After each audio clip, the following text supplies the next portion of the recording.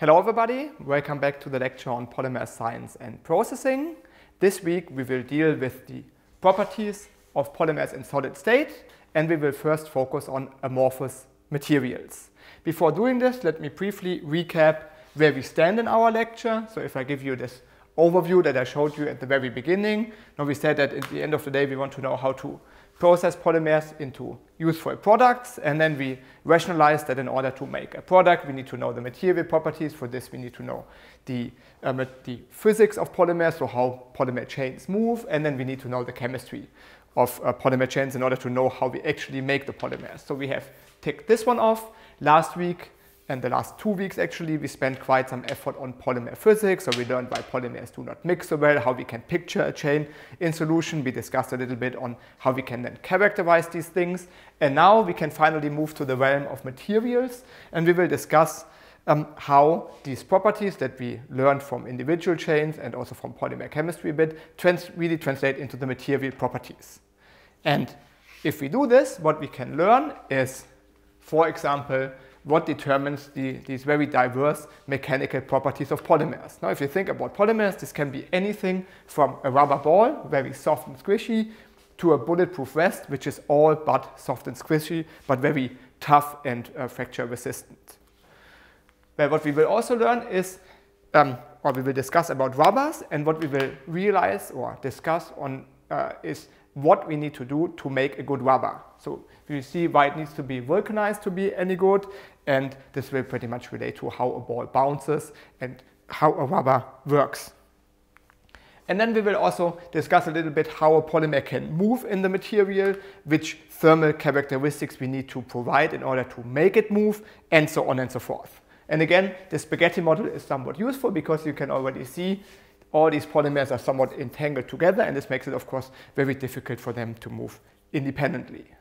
Okay, what we want to, to do today is first discuss a little bit tools or characterization methods that we can use to investigate bulk properties of materials. Now, if you remember from last week, we discussed quite a lot on how we can characterize individual polymer chains. And now, if you want in a second set of characterization methods, we will see what we can do to characterize the full material.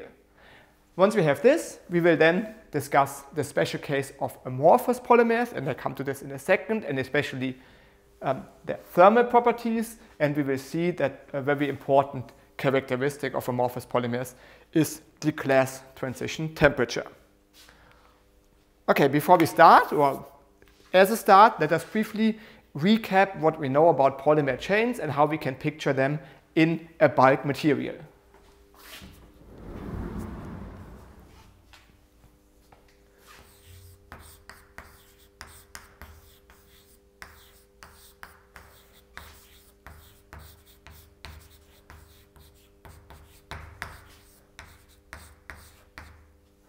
Okay, so we already know from last week or from the last two weeks that a single polymer chain will like to curl up in um, well, a Gaussian coil or generally in a coil, uh, coil configuration.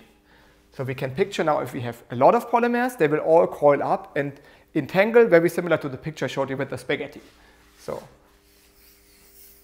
one polymer chain, second polymer chain, third polymer chain. This is how we can very coarsely picture typical polymers in the bulk.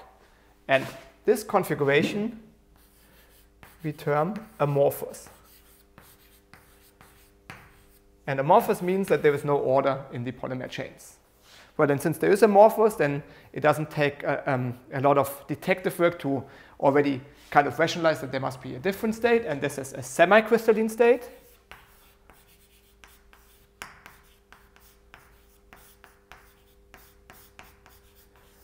And here we do have crystals of polymers. So we typically picture them as kind of small lamellar structures. And because it's a semi-crystalline polymer and not a crystalline polymer, this material contains two different phases, one crystalline, and this is connected by an amorphous matrix. So this will look like this, and then maybe another chain here, and this has some more crystals, and so on. So it contains properties of both substance classes if you want. So this would be a semi-crystalline polymer. And then there's one more thing, and this is a rubber or an elastomer. And this is an amorphous polymer. that is loosely cross-linked to other amorphous polymers.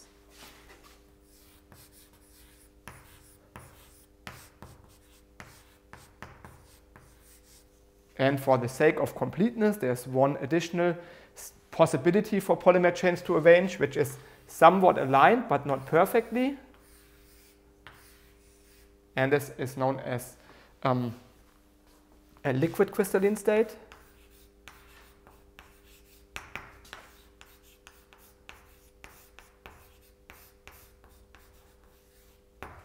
Which is something I do not want to cover in this lecture for the lack of time. Now just for completeness, this is also possible. What we want to discuss are these three kind of big classes, cross-linked amorphous polymers, pure amorphous polymers, and semi-crystalline polymers.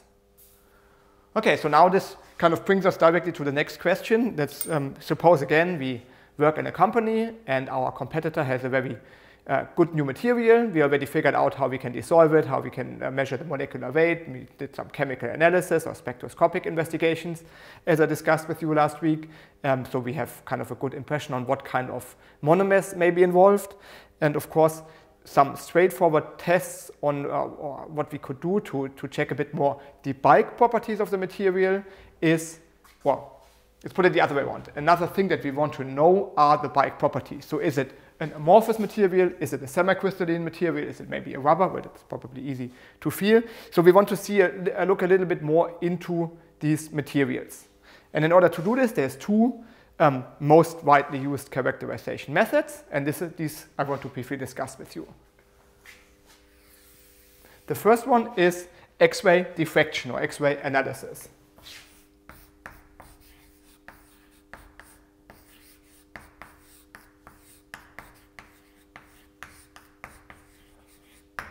And I think most of you are at least somewhat familiar with this technique. It's actually conceptually very simple. We have an X-ray source.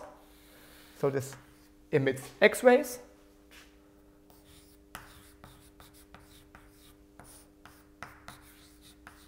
And X-rays are very high energy electromagnetic waves that consequently can probe very small structures. So then we shine this or in this beam, we put our polymer.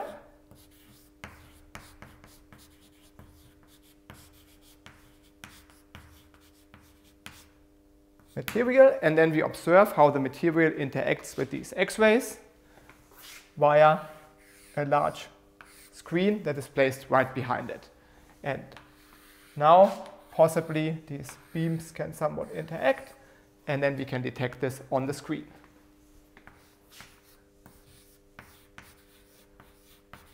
And what we hope to see with this, or the kind of theory behind this, is that a crystalline material that has crystal layers, or crystal planes maybe is the better word, will interact with X-rays by creating a constructive interference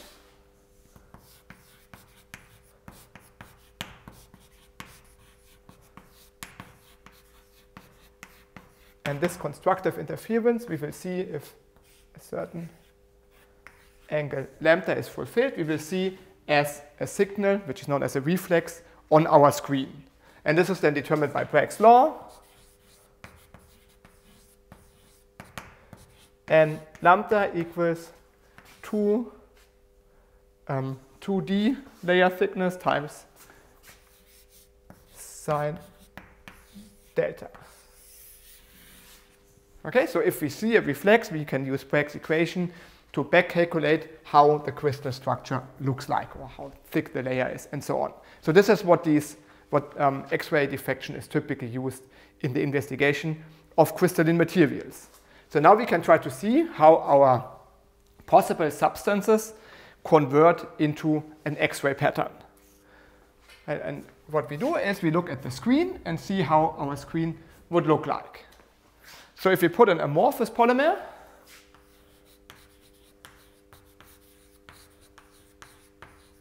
into our X-ray beam, there is no crystallites, so there cannot be any constructive interference. So the only thing we can detect on the screen is what is known as a halo. And maybe can draw this here, so kind of a very weak, very broad, smeared out ring. And if we now plot this as the X-ray intensity over the angle, called the delta, so if we kind of plot the intensity in this direction, we only see this halo. That's characteristic of the amorphous polymers. Okay, and this the halo gives you, if you want, an average um, distance between polymer chains, but since they all move around and um, is not very defined, you get this very broad structure. Where then we can probe a semi-crystalline material.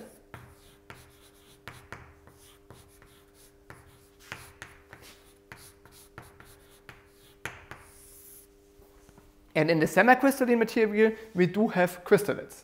And these crystallites here cause constructive interference according to Bragg's law, and this then gives certain reflexes. So now, me, if I put the screen here, I now let you think for a little bit how this would look like. Now, if we had a single crystal, all the X-rays would bounce in one direction and create a very defined point on the screen. What happens for a semi-crystalline material? Well, now if we look at our material here, let's assume this is our X-ray coming from one direction. So this crystalline, which is oriented in this direction, may give a reflex that goes in this and this direction. Or let's just put four reflexes, let's say here and here and here and here. And now this crystallite here is rotated so it will also create reflexes on the screen, but not in the same spatial direction as this one, simply because the crystal plane is rotated. So this may also create our X-ray pattern, but in this case, tilted. When I put it 90 degrees, this would be more 45, but you get the gist. This one is even tilted in a different direction. So if our X-ray beam comes, it will also create um, reflexes, but again rotated. So let's say here and here and here and here, and here. So overall, what you would get from a semi-crystalline material where you have a lot of individual crystallites that are not oriented would be rings. And often you see multiple rings, so kind of something like this. And if you plot the intensity, again, over the angle, then you will see your reflexes. But since this is also contains an amorphous part, you also get the signature of an amorphous halo. So this would be the halo, and here would be reflexes.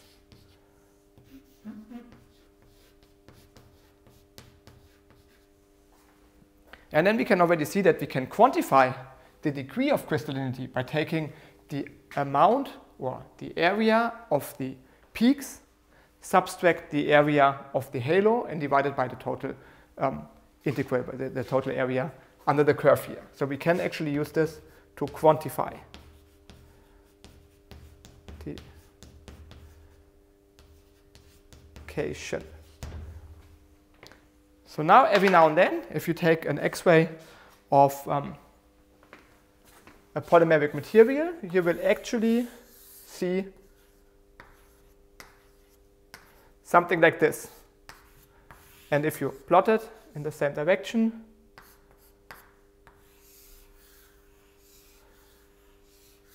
it will look like this. So we only have reflexes here.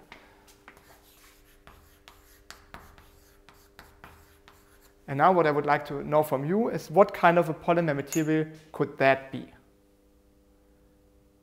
Think about it for a second and think about what these reflexes or the individual, if you want, points here on our screen mean. So very similar to what I just discussed with you for the semi-crystalline materials, where each of these crystallites gives reflexes in a certain spatial direction, but because they're not aligned, it smears out and creates a ring. Here, apparently, we have a material where each of the crystallites also gives a certain reflex, but they are somewhat aligned and therefore do not smear out into a ring. And this is very typical for a polymer fiber. Because in a fiber, these semicrystalline materials, or these the domains, are stretched and all aligned in one direction. Maybe let me just put this in here.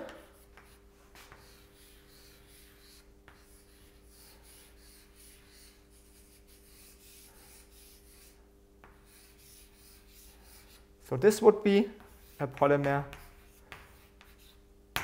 fiber. And why is that important? Because in a fiber, think about some whatever, um, a piece of string or a climbing rope and so on, you need to have very high mechanical strength in this direction along the fiber because this is how you pull a fiber. Think about a climbing rope. You always fall down in a way that the rope stretches, but you never really uh, create any mechanical impact perpendicular to this direction. So for a fiber, you don't really care what's going on in this direction. All that counts is what happens in this direction. So you try to align these crystalline polymers by stretching during the synthesis, and this gives you strongly anisotropic mechanical properties, and you will see this in the X-ray diffractogram here. Okay, so this would be the first possibility on how we can characterize amorphous polymers. Now you could argue, well, what happens if our X-ray machine is broken or if we don't have any X-rays? Is there not um, maybe a simpler possibility to do this? And indeed there is, and this is known as differential scanning calorimetry or DSC. And I just want to show this to you briefly on screen. So here again you see these different, this is a real world image of such a polymer fiber. So you see these individual reflexes here. And you see a little bit of the amorphous halo here as well. And in the semicrystalline material, you also see the amorphous halo, but you see very clear rings here. Okay, so now this is what we can see. So the DSC, the scanning uh, calorimetry, works as follows. We heat up a material, or we heat up the polymer, and we heat it up with respect to a reference sample. And what we measure is how much heat we need to put in compared to the reference. And this, dH over dt, so how much heat at which temperature, allows us to probe phase transition in polymer materials. Because we know from phase transitions, whenever a material, let's say, melts or crystallizes, the enthalpy of that phase changes. And this can be seen in the DSC. So how does this work? We have a sample and a reference that are heated together. So in the machine, our sample here contains the polymer and our reference doesn't contain anything, just an empty boat. Okay, so here this needs to be something that does not undergo any phase transitions. And then we have two heating coils here and temperature sensors. And what we ask the machine to heat it up, slowly increase the temperature and make sure that the temperature difference here is zero. And whenever a phase transition occurs, then this sample will either release heat, so the temperature here will rise, then we need to heat up more here, and we can record this to keep the temperature uh, difference zero, or the phase transition is endothermic, so it will consume energy, and that means you need to put in more energy here compared to the reference, so we need to heat more here in order to maintain um, equal temperature between the samples. And this difference in heating, whether we need to put in more energy here or more energy here, can be recorded. So we record the temperature, we measure the differences in temperature, we, and we compensate them by extra energy or extra heat Q to the system. And that's our measurement signal. Okay, it's actually a fa fairly simple technique. So what we just do is heating up materials, and what we ask for is that two different, if you want, boats or, or pans are heated exactly at the same temperature. So now what do we get from this?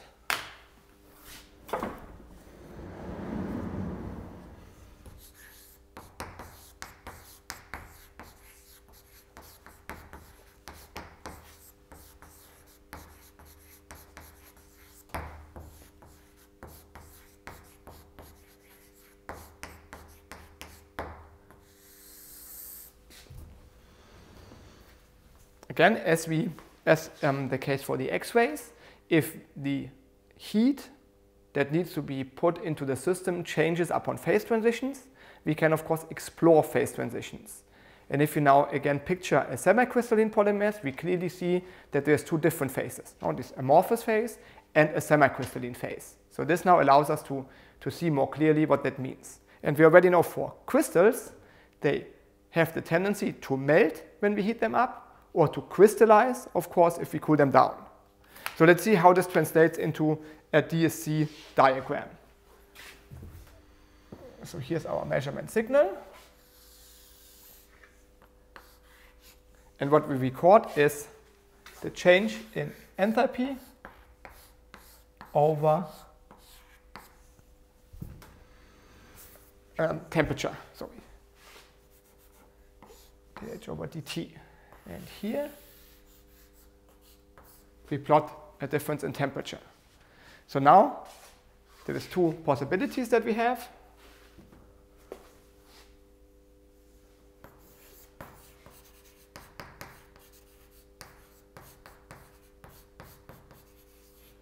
for a semi-crystalline material and it could also be an amorphous material.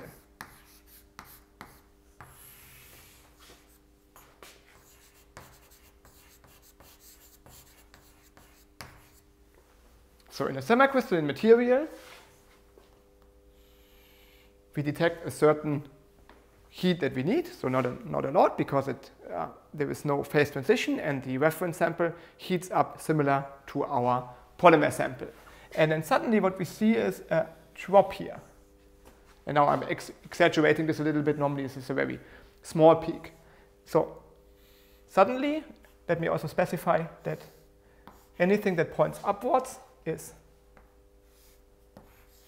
exothermic and anything that points downward is endothermic. So that means if our curve shifts to the bottom, we need to supply more energy to our polymer sample. If it shifts upwards, then it means the polymer sample releases heat or we need to supply less energy to the polymer sample or more to the reference. So first we have a drop here and then suddenly we get a big peak in this direction and then we get a peak in the endothermic direction and eventually the, it becomes hotter and hotter and the polymer starts to burn.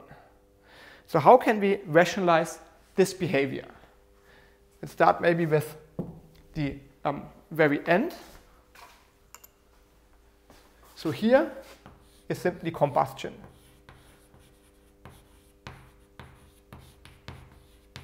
Your, your, sample thermally degrades, the polymer starts to burn, whatever that can release energy. So that's not something of interest because then once you go here, your sample is destroyed.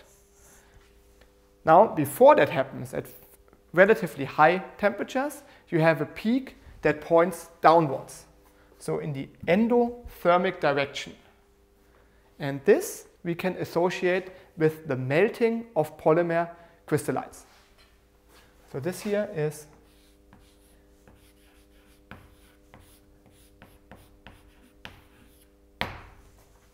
And why is this endothermic?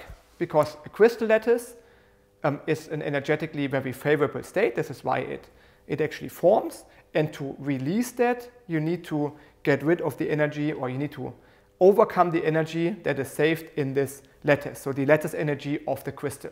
And this is why the peak is endothermic. Similar to ice, you need to heat it up in order to melt it. No, you need to supply energy for the molecules to get out of the crystal and to move in the liquid. Now, if you cool down from this polymer melt, then, um, you cool down in this way, then eventually the polymer can start to crystallize. Now you, now you, you come from high temperatures, the polymer is, is melted, and as the temperature goes down, suddenly the material starts to crystallize, and this releases energy because now it forms a lattice, and this is known as the crystallization process.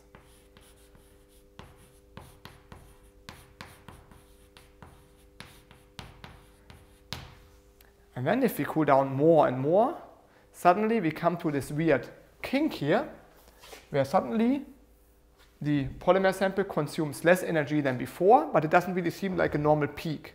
It's more like a step. And this step is known as the glass transition.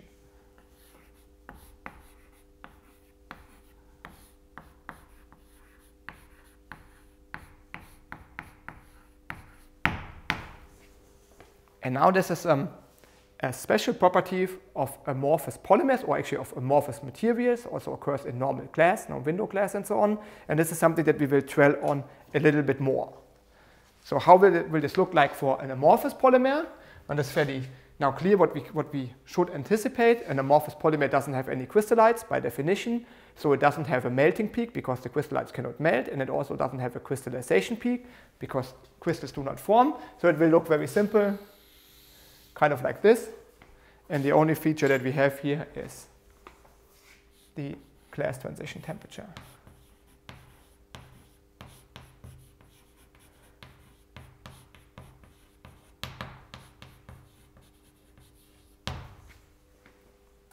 Maybe one additional word to this, what you typically see in the semi-crystalline state is actually a, a hysteresis. So if you have an unknown sample,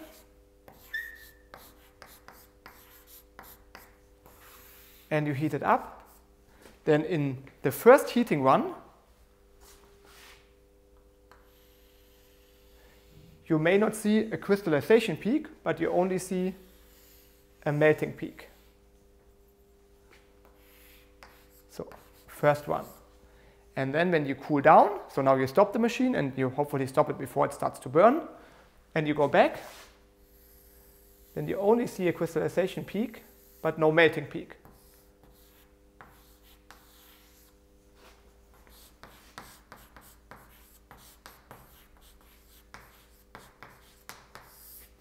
So my question for you at home is, why does this happen? Why do we observe this hysteresis? Think about this for one second, and in the meantime, I clean up.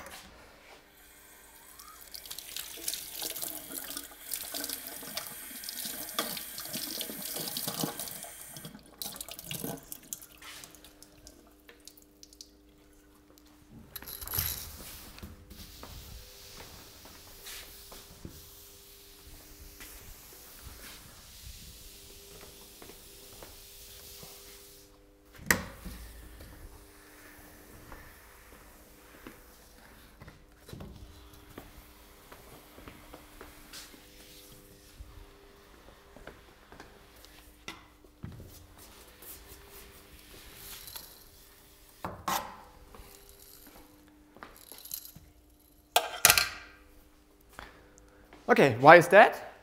Well, the answer is actually fairly simple. If you have a material that is already semi-crystalline when you start, no, it looks like kind of.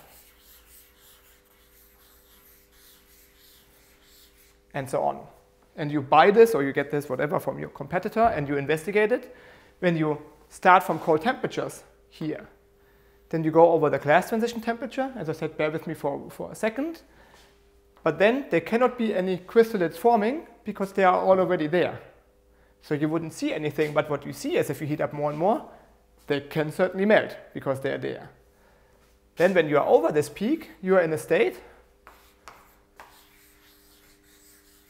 where now the crystals all have molten. And as you go back, you don't see this melting peak anymore because everything is already melted. And as you approach lower temperatures, these kind of liquid-like melted polymers can then reform into a crystal if they choose to do so, and this is something under which conditions that happens we will discuss next week in the next lecture. But then you will see a crystallization peak because now there's no crystals. And as you go here, then again, you go over the glass transition temperature, and this is how you uh, get this hysteresis behavior. Okay, so now maybe let's clean up this as well, and we have more space.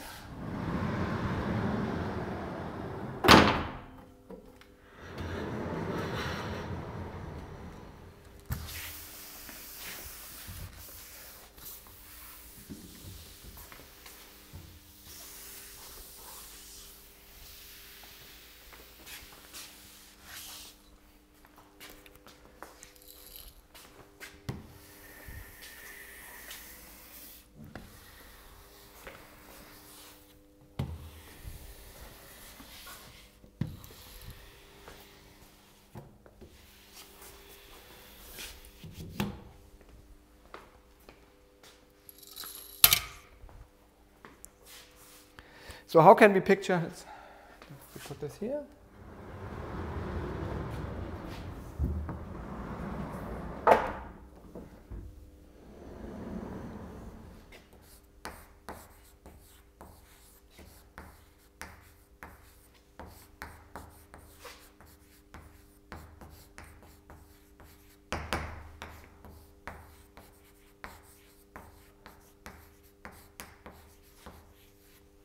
So how can we rationalize or what is the glass transition temperature? Well, the first thing that we note if you, if you look back at these DSC curves that I showed you for amorphous polymers, if we don't see a crystallization or a melting peak, then strictly speaking, we can say that uh, an amorphous polymer cannot melt. No, because melting implies that it was in a crystalline state beforehand. So what happens if we heat up an amorphous polymer is we, we come from a hard state into a softer state and eventually into a really kind of viscous liquid state. But we do not really change any conformation. We don't have a crystal, so it cannot melt. Okay, that's maybe a counterintuitive, but a really important point to keep in mind, to remember, and also to kind of um, uh, rationalize in your head. No, it's, uh, an amorphous polymer, if you want, is um, in a liquid state throughout um, at any temperature. And the same is actually true for glass. Now, window glass or like SiO2, inorganic glass, is also a material that actually is a liquid from all definitions that we know because it's not a solid or it's not um, at least a crystalline solid because it doesn't melt, it doesn't have a crystal structure. And that's one of the, um, if you want, big puzzles or like a, a, a very important consideration in the field of glasses, now how to really understand what that means for material. So for example, it is known from window glass in churches.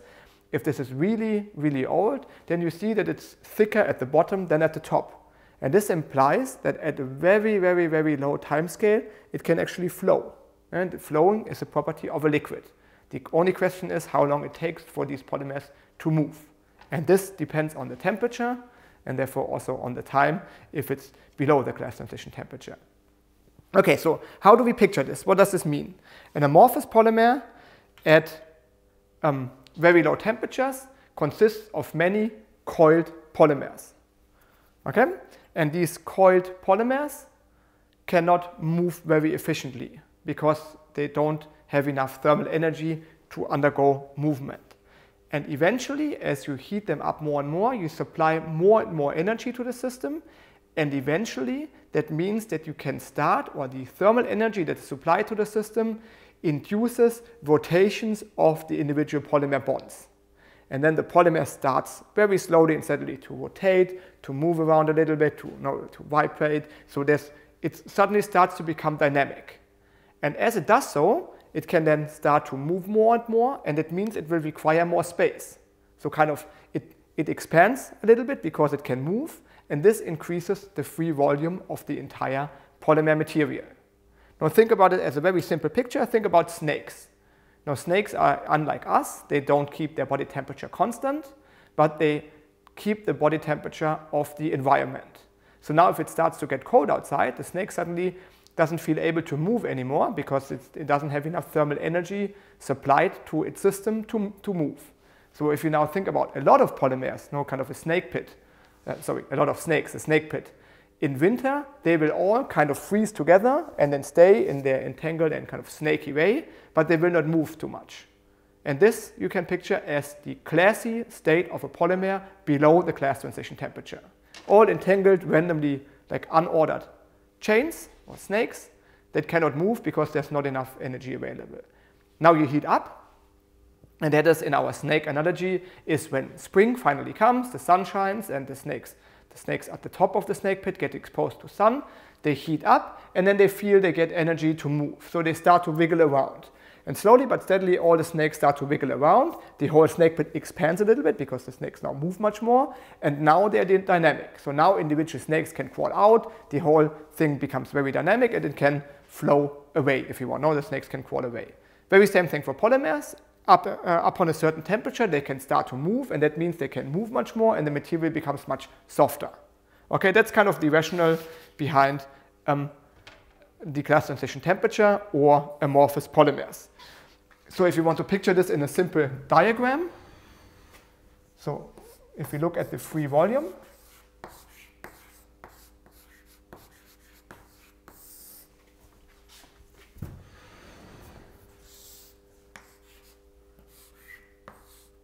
we can plot the free volume Vf as a function of temperature T. And for a crystal, what we know is that the free volume expands a little bit because bond vibrations start to move and then eventually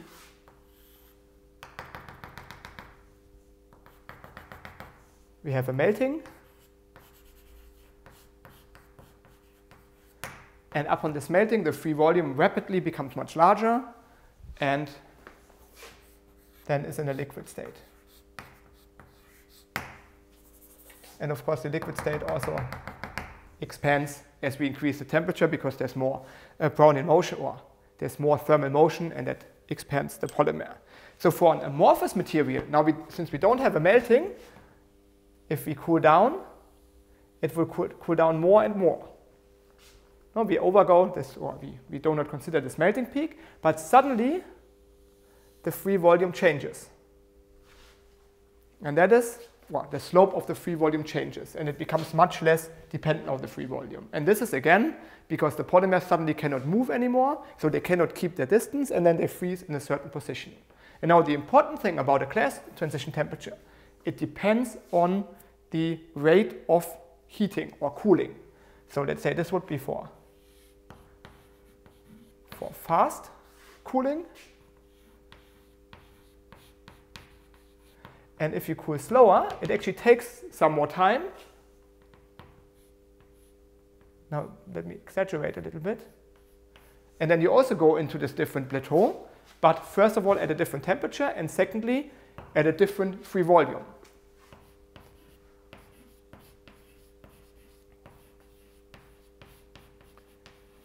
And that means that unlike a normal, if you want, melting transition, the glass transition temperature really depends on the um, thermal history of your material. So how fast you cool down as compared to um, a melting, which always occurs at the same temperature, no? because it's, it's a um, first order phase transition that is given by thermodynamic considerations.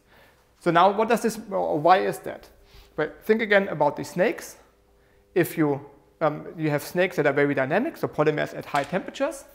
Here, they move around, and now the sun sets, and the snakes become slower and slower and eventually cannot move anymore. That's what we do if we cool down.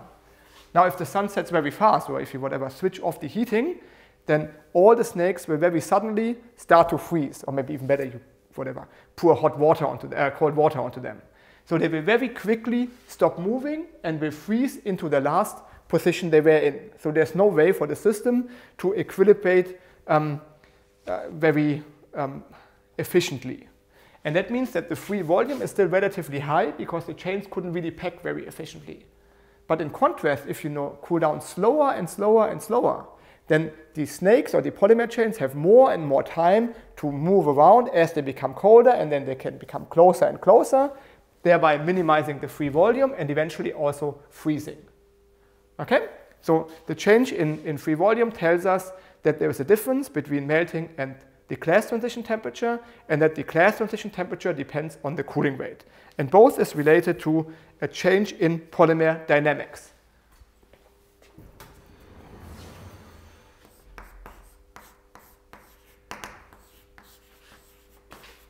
And a very strong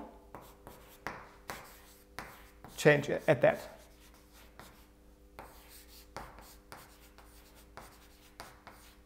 And maybe we say polymer chain dynamics. That's not true for a melting point. No, there you really get a different conformation. Okay, so now let's look a little bit more into these thermodynamics of the glass transition temperature.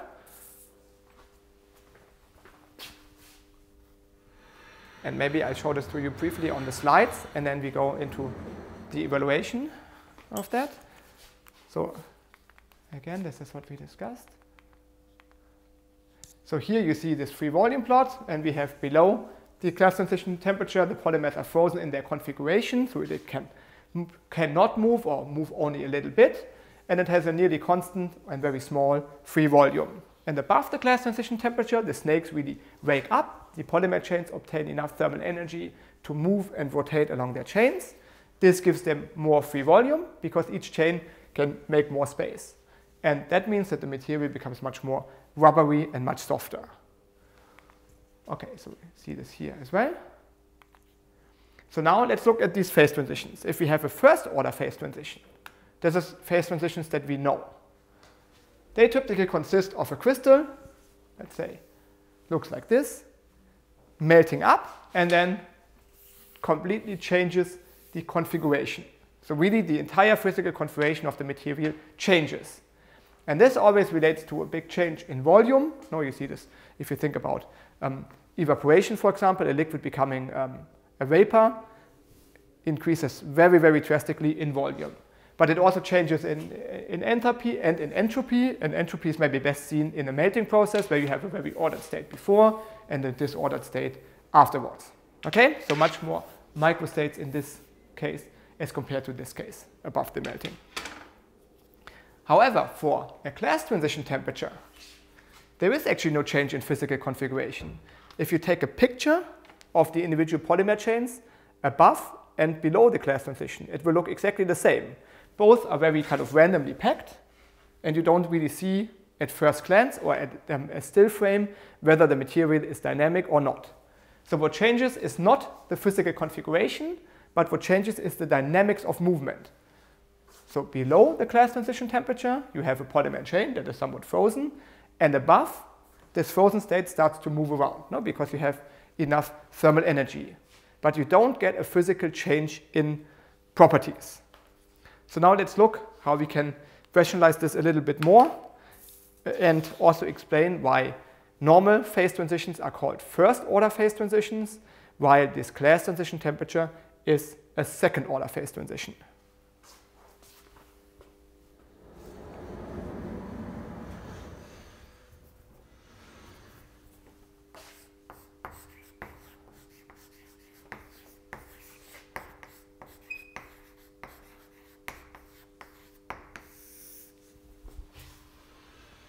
So why does a phase transition occur? I mean, that's quite clear. Because we have a change in free energy. So we have our free energy here over temperature. And we have the free energy of a melt. And we have the free energy, let's say, of a crystal.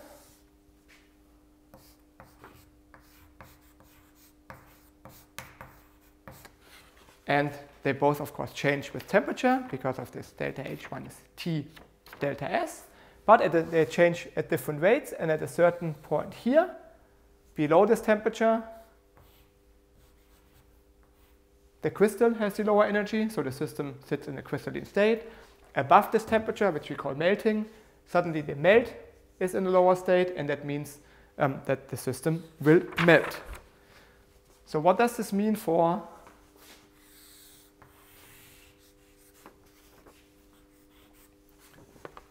for the different physical properties. So we can look at, for example, the volume or the enthalpy or the entropy. Let's just look for this for the sake of simplicity. Let's look at the entropy, but we already discussed this.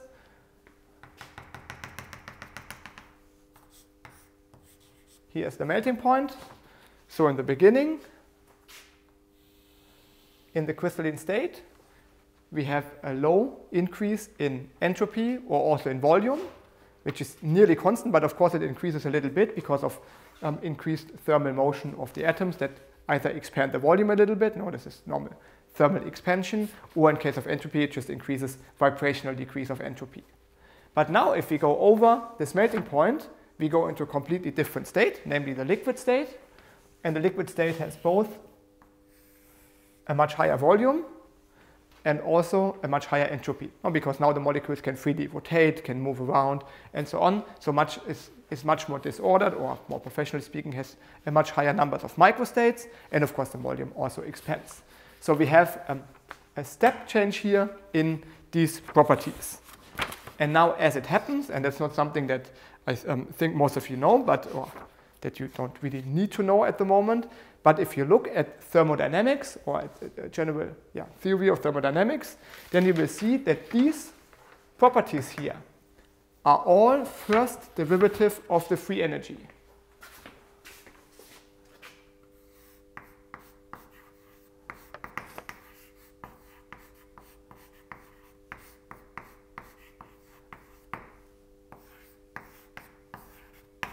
And just as examples, so for example, dg over dp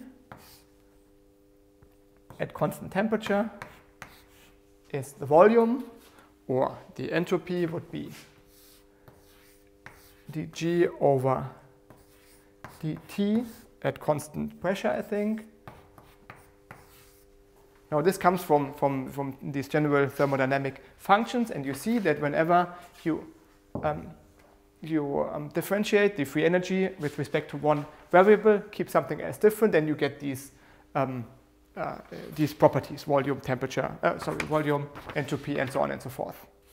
Okay, and now you can also plot something different here, T over G. And what we will plot here is, for example, so not G, alpha thermal expansion coefficient, Cp, um, the um, heat capacity of the material, or kappa, so thermal conductivity.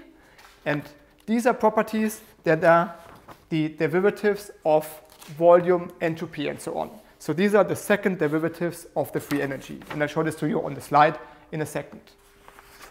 So all of these are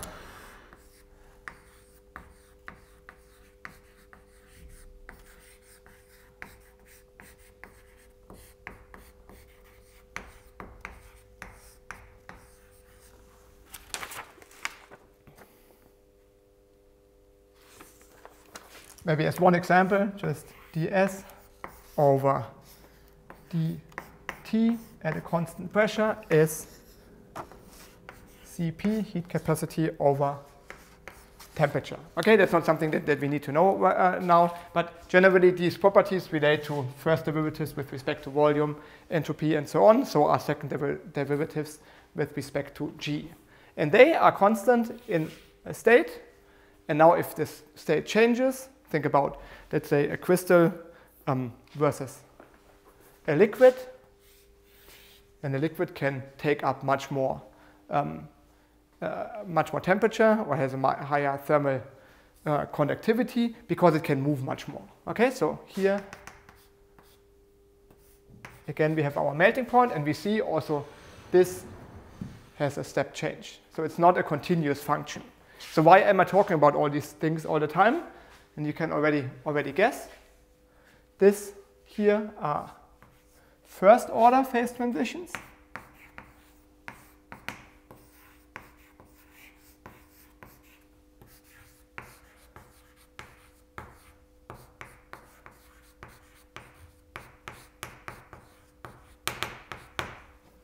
And first order because the first derivative of the free energy changes non uh, discontinuously. So you have a step change in these properties. Now that's the key. Maybe let's underline this here in red. And this would be. So now let's look at the glass transition temperature. And I already told you this is a second order phase transition.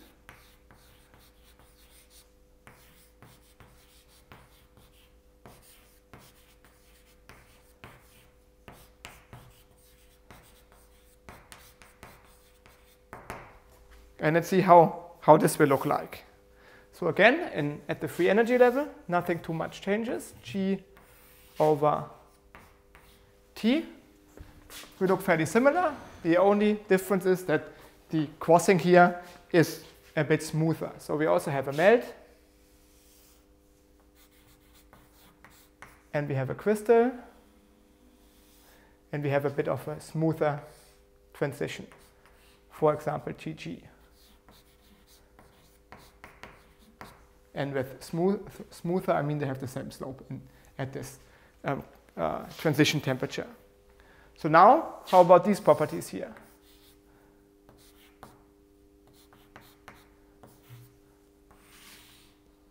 So all these first derivatives of the free energy for the glass transition temperature or a second order phase transition, they do not change.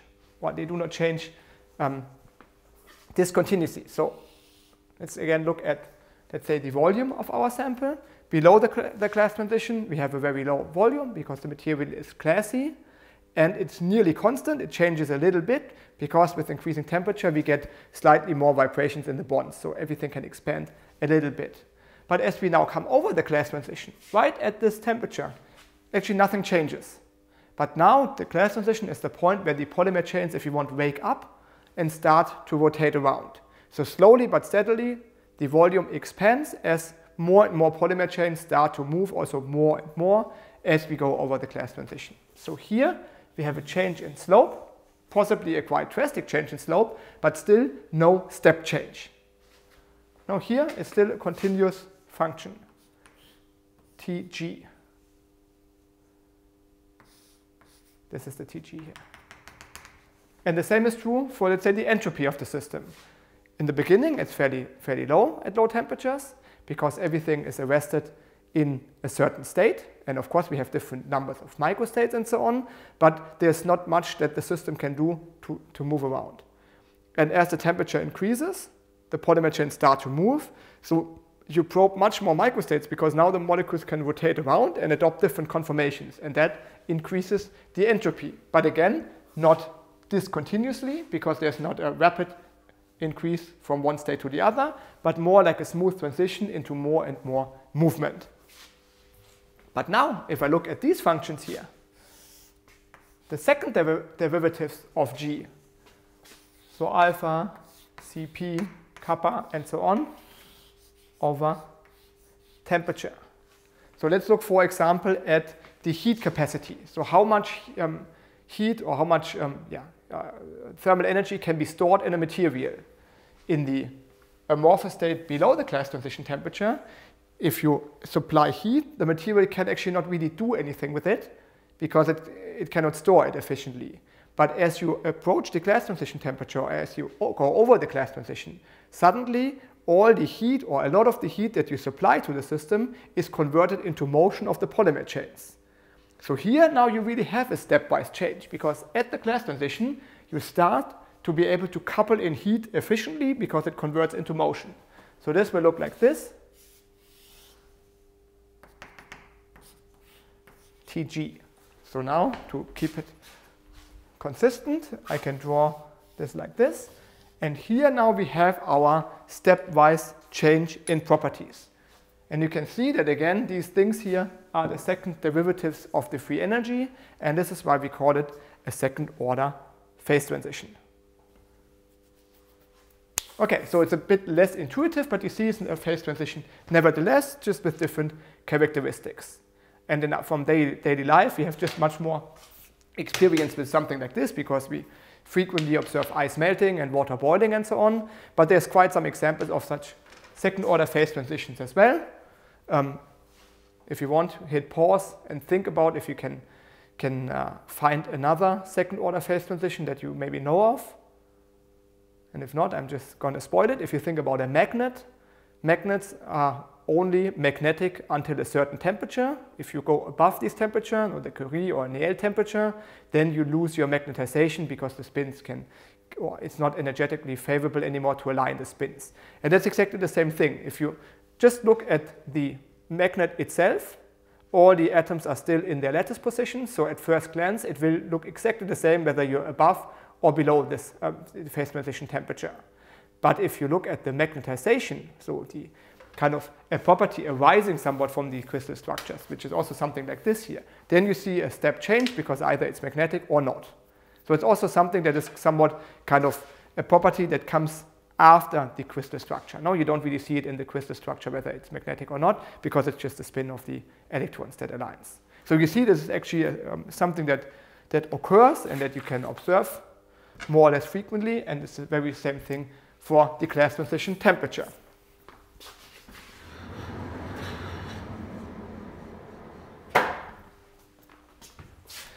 Okay, let's see. Where are we? So this is exactly what we had on the blackboard.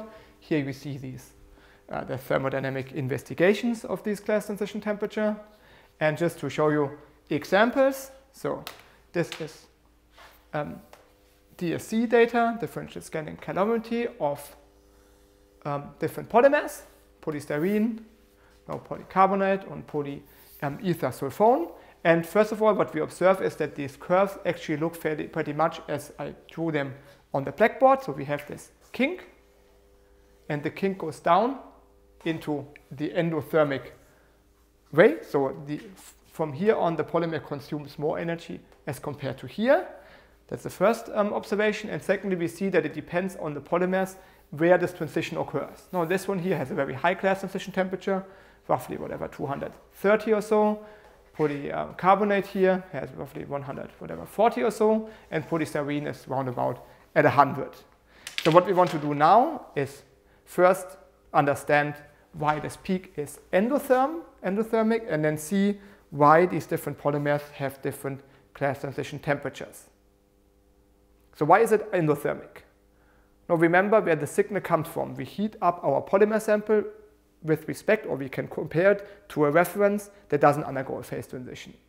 At very low temperatures, you supply heat, but the polymers do not really change, nothing is happening, so it heats up similarly to your reference. As we come to the glass transition temperature, suddenly our thermal energy, our heat, is used to make the polymer chains move. So you consume energy that is not directly converted into heating the sample, which doesn't happen at the reference. And this is why suddenly you need to supply more energy to your polymer material as to your empty reference.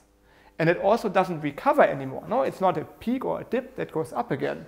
Because as you increase the temperature, more and more heat is converted into thermal motion of the polymer. So actually this is something that keeps going on and on and on as long as you're above the glass transition temperature.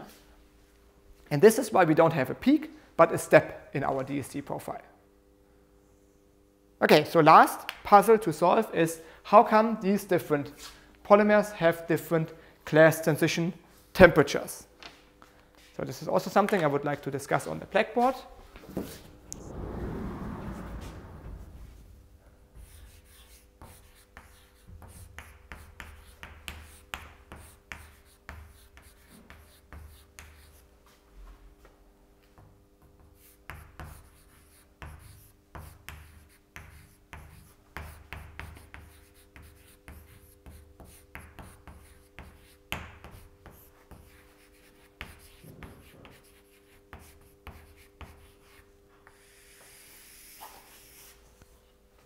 So what is the influence of different factors on the glass transition temperature? And in order to discuss this, I will give you three polymers and we will try to sort them according to glass temperature. So first example is we will look at polyethylene.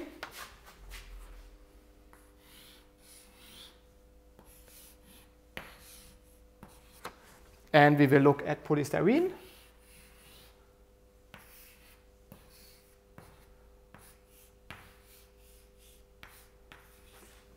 And then we will look at polynaphthalene, where we just put another benzene ring onto this benzene ring here.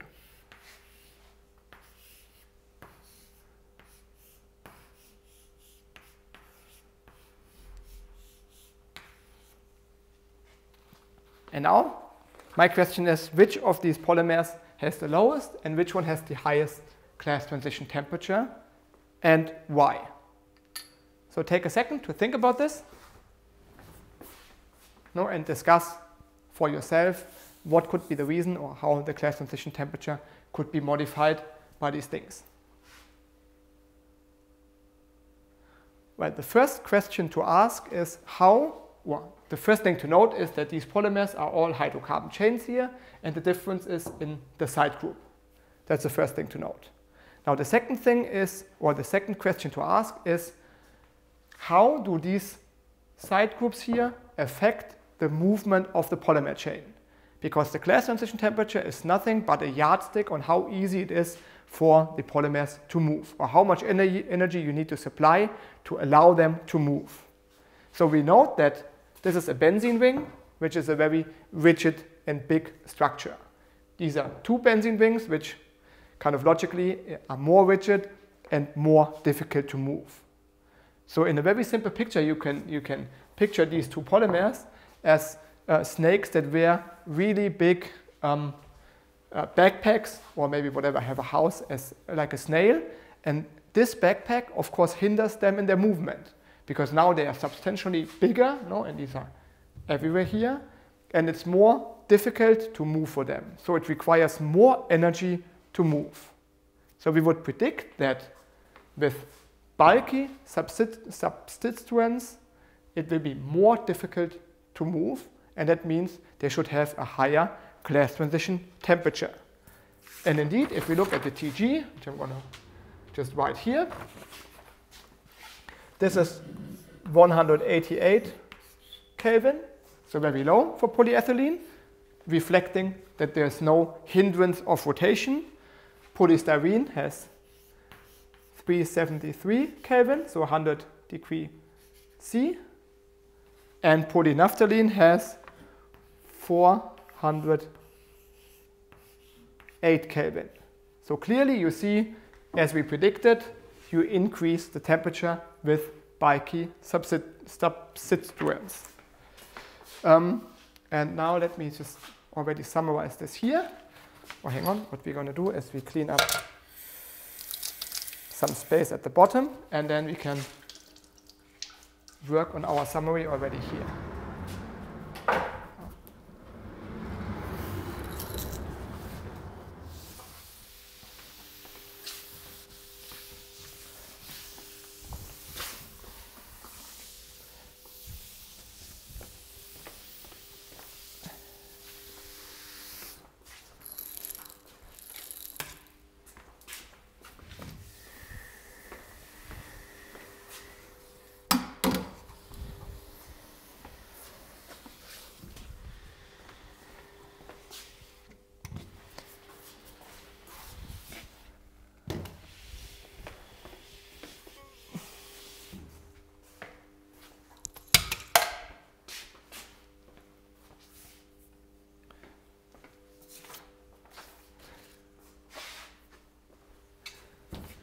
So let's note down here.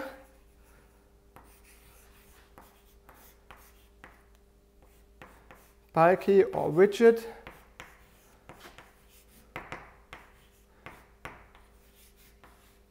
Side groups. They hinder rotation and thereby increase the glass transition temperature.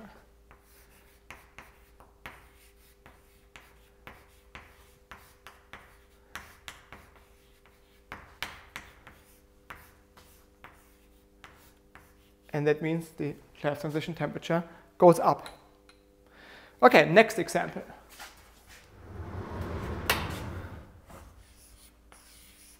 Now we will compare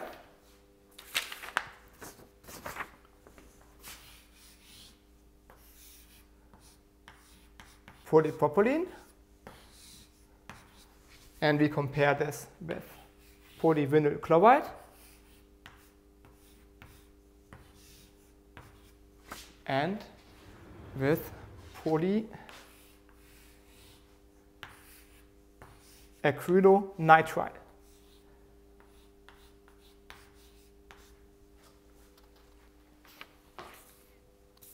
And as before, I invite all of you to now think about how the glass transition temperature changes for these three polymers.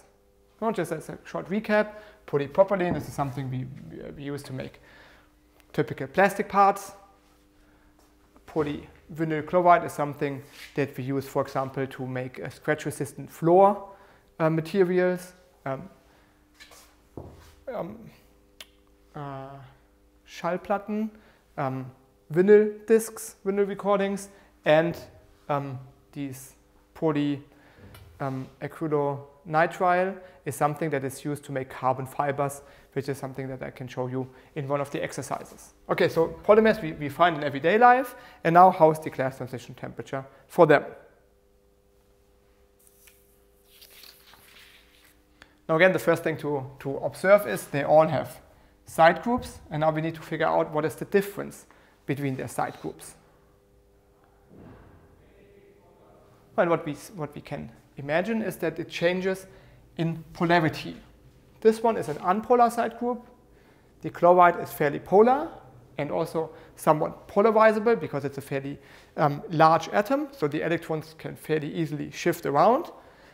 And this one is very polar because it has um, a carbon that is in direct vicinity to a nitrogen, which is much more electronegative. So it draws all the electrons to the nitrogen chain. So what we would expect is that such a group has a dipole moment, and this dipole moment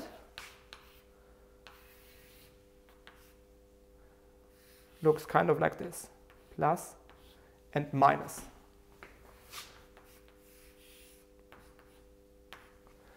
And the second polymer chain that now comes close by has exactly the same side groups, also a plus and a minus, and a plus and a minus here. So you can see that because of these dipoles, they can somewhat electrostatically stick together you know, by aligning their dipoles in opposite directions. So now the second question, and this is somewhat true for the chloride as well, because it's also uh, polarizable. So now the next question to ask is how will this influence the movability or the, the possibility to, for the polymer chains to move around? And clearly, if we have such a group, then the polymers will not move so easily because they tend to stick together. So our uh, kind of prediction would be that the glass transition temperature increases as you go down from here. And indeed, what you see is polypropylene has a TG of 353 Kelvin, so below room temperature, so it's fairly, a fairly soft material. This one here, PVC, has 34, uh, 354 Kelvin, so it's higher. And this one has 378 Kelvin, so indeed the glass transition temperature increases as we move to the bottom. So what do we learn from this? By Bulky side groups we have ticked off. Polar side groups.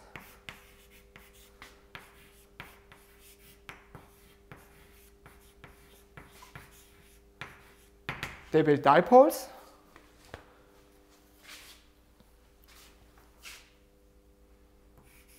And dipoles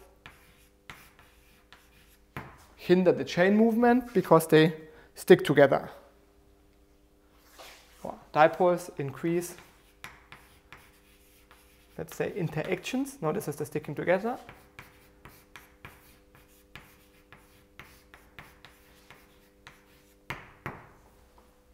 If they increase interaction, it also hinders the movement or hinders rotation.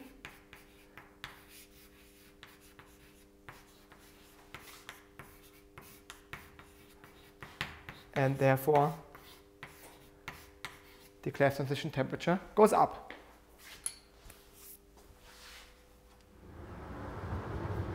Okay, next example. Now let's consider the following. We compare polypropylene again. And now we increase the chain length of this one here. So we compare it to polybutylene. And let me just draw it. One, one, two, three. And just as a second example, we can also do the same thing on an acrylate basis. So we can compare PMMA, polymethyl methacrylate,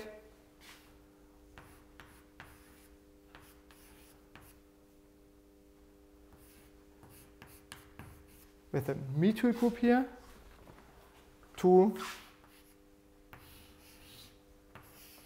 exactly the same structure, but one that has one, two, three, four, four chains. So you see the situation is identical. We always increase the length of the side group, either bond directly to the main chain or via this acrylate moiety. And again, as before, my question to you is what happens? Now the first question to ask is what changes? We discussed this already. The side group or the length of the side group changes. Now intuitively, we would be tempted to say, well, this is somewhat the same as here. So it should increase because the the side group gets larger. But there's one notable difference between the benzene ring that we put here and a CH4 or a C4 chain, an aqueous chain. This one is very rigid, so think about the backpack. This one is very soft. And soft means that it can move around and rotate and so on. And matter of factly, what happens if you have a polymer that has a lot of these small side chains? They will act as little spacers, little flexible spacers to keep the other polymer chains a little bit at bay. And that means that for the polymer chain in the middle, it's easier to move. So this one here, we can picture, we compare these two polymer chains that need to move with something that has small hairs here. That keeps the second polymer chain at a larger distance. So a flexible side chain actually decreases the glass transition temperature because it acts as a flexible spacer. Okay, and just to show you that this indeed is correct, I give you, so this one we already know, this is 353 Kelvin. Now if we make the chain longer, we go to 223 Kelvin. So you see it decreases by uh, 30 degrees, and here, very similarly, uh, uh, PMMA has 279 Kelvin, and this one here has 218. So you see actually a fairly significant effect by the introduction of flexible side chains. So we summarize here.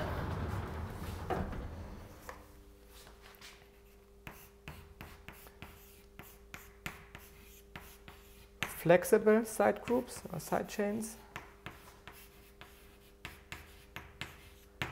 So what do they do? They increase free volume because they act as a spacer.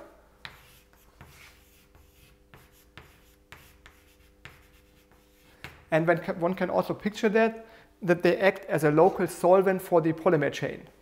No, because it's the same material, so it makes them much more flexible.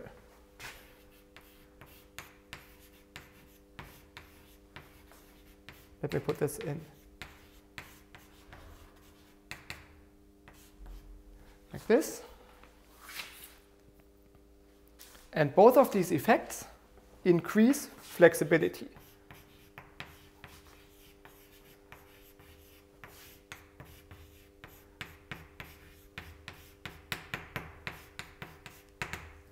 And if the flexibility is increased, it's easier for the polymer chain to move. And that means that the TG goes down. Okay, so last example I want to discuss with you is now what happens if we change something in the main chain. And for this, we compare four different polymers. One, a bit of a special type. This is silicone.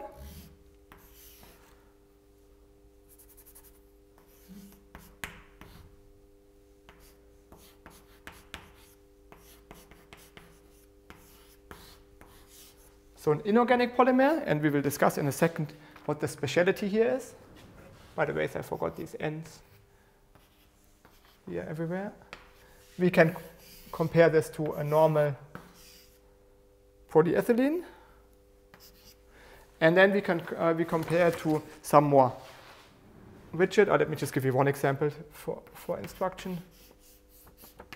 We add an aromatic unit to the backbone.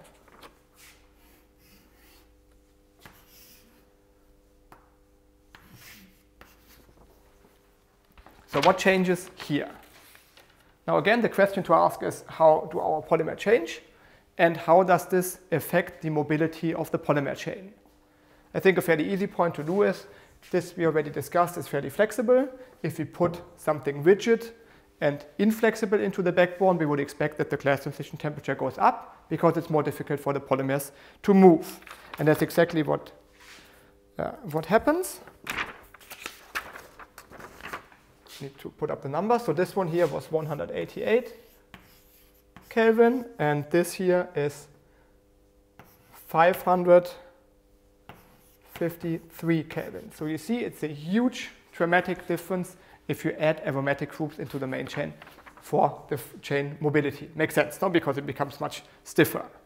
Now let me show you that this one here only has a glass transition temperature of 150 K. And this may come surprising because we have an oxygen atom in here, which is polar, and one, one may think that this actually increases the affinity to other chains, the interactions, and makes the material stiffer.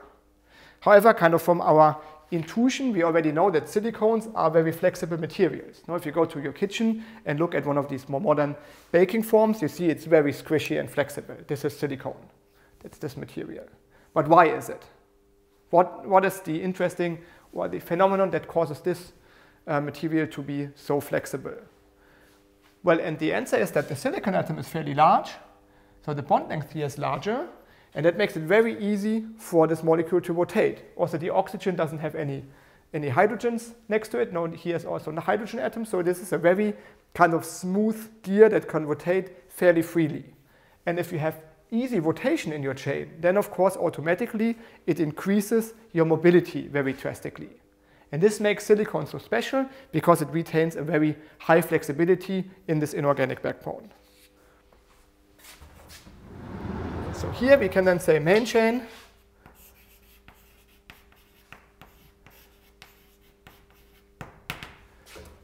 and now put it up here, we have everything together.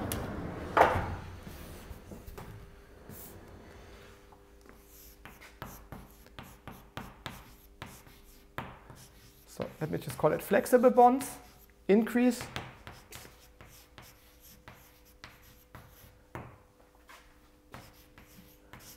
rotation or maybe facilitate rotation.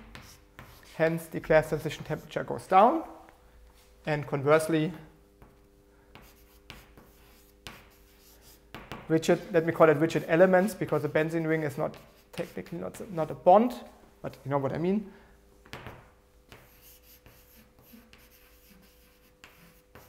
Decrease rotation or decrease the capability to rotate and therefore Tg goes up.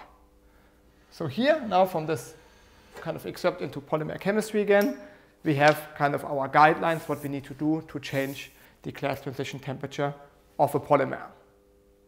Okay, so now what I want to do with you is first clean the blackboard. And now, as a last point, we should briefly discuss how this translates into macroscopic properties of the material. Now, what's the difference between a polystyrene and maybe a silicone rubber? And I mean, all of you know already that we use them in very different occasions and that the mechanical properties change. But I now want to demonstrate to you how that actually is.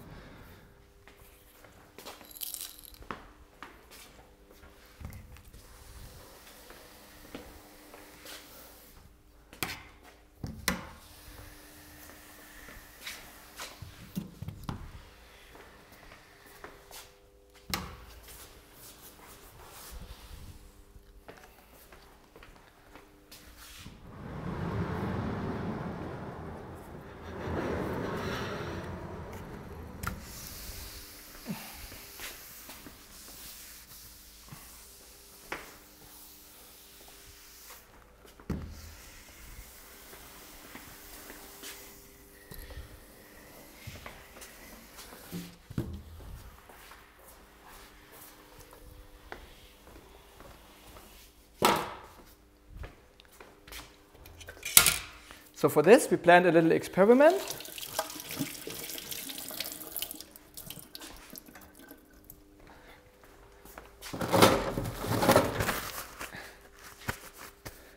And Reza can assist me with this experiment.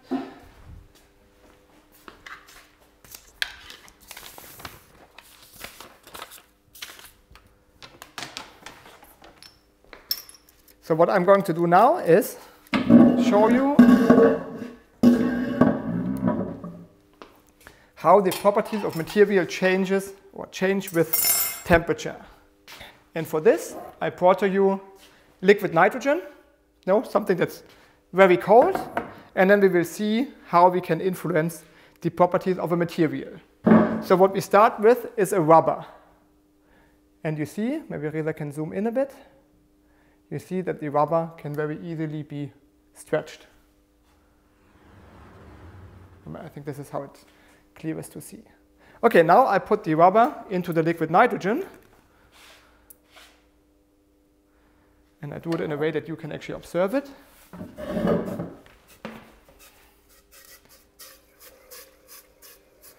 So you hear some bubbling noise. This is as the rubber cools down. This will take a little bit.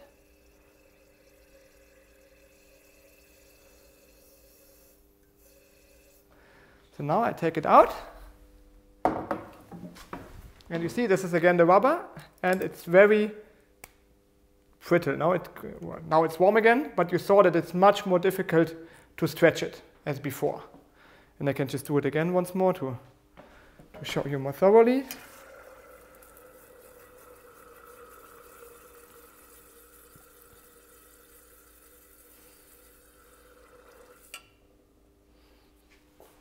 So again, you see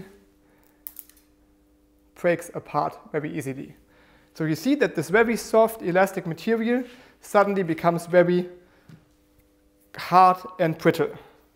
And now to show you something even more maybe exciting, I take this rubber ball, and maybe Reza you can zoom out, and I show you how this rubber ball bounces. I mean,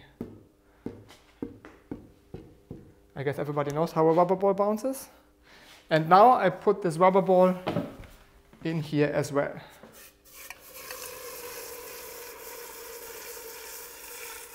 Now this will take some time to cool down.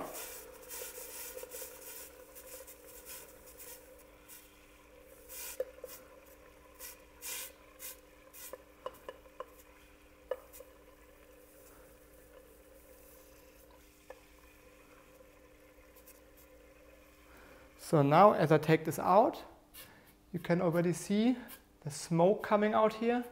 We see how cold it is. And you see it even sticks to these tweezers here. And now I'll drop it down and we see how it will bounce.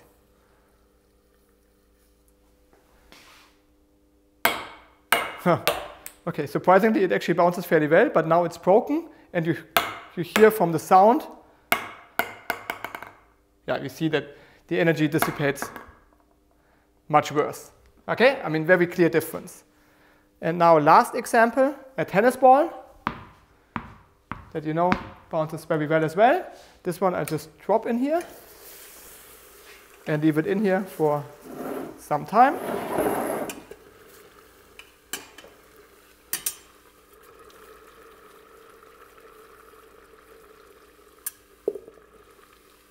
And I'm not sure if you can hear this, but it already sounds very different.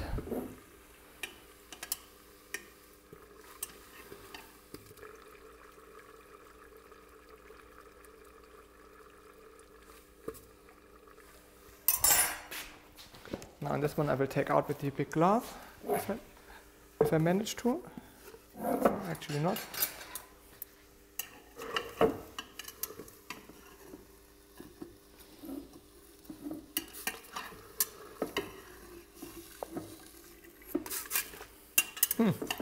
Not so.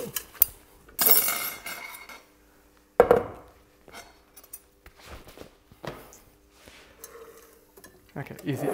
So now a very cool tennis ball. And again, you see how it trips off the nitrogen and so on.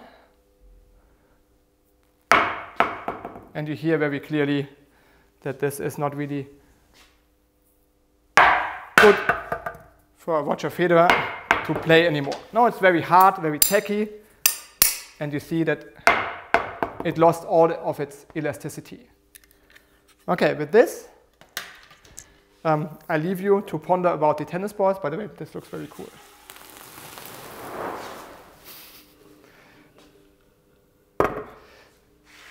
And we will discuss elasticity a bit more um, in the next lecture. And what I want to do now is just very briefly recap what we learned in this lecture. So this is what we went through again before. So molecular pictures and consequences. In the glassy state of an amorphous material, if we apply heat we don't really do a lot. So there's a little bit of movement along the equilibrium positions, but the positions of the molecule is frozen. While if we heat up, then suddenly we become very large segmental motions between fixed entanglements. So you see that these can now move very freely. What does this mean for the deformation mechanism? If I pull, you've seen this on the tennis ball and on the rubber. Here I can hardly pull anything. And the little pull I can do is just change the valence angles of the individual bonds. However, here I can actually uncoil and orient the entire segment. So now I really have a huge possibility to move the material because this segment here is now flexible. No, but the entanglements remain fixed, so it doesn't fall apart directly. And what is the macroscopic effect? That's what we've seen in the glassy state after it comes out of the liquid nitrogen. It's very hard, it has a high modulus. You cannot really stretch it anymore, very small elongation, and what you deform is elastic.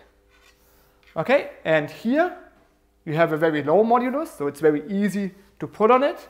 You can pull for quite some time, so you can really extend it a lot. And the deformation is, um, I put it in elastic, that depends on whether it's cross-linked or not. So if you keep it stretched and it's not cross-linked, it will start to flow because it's actually viscoelastic. Okay, and now if you heat up more and more, then eventually in the melt, also this entanglement starts to disentangle. So you have a continuous disentanglement and entanglement of the molecules. So the polymer chains move much more, and that means it can really flow apart. No, in, the, in this rubber elastic state, the entanglements still keep somewhat preserve its shape. And as you do more and more, it can move more and more. Then it can uncoil and stretch. And that means it really flows uh, in a viscous way. So with this, let's briefly wrap up. Amorphous polymers, the important thing is the glass transition temperature. And we've seen how this plays out on the molecular level. We also seen that the glass transition temperature really crucially depends on the molecular architecture of the chain. And something I did not discuss, I just want to mention this because we need it next week. Amorphous polymers can be transparent, okay, because they con contain a single phase. And this will be important, as I said, next week. So thank you very much for joining, and um, I hope to see you again next week. Stay healthy and safe. Goodbye.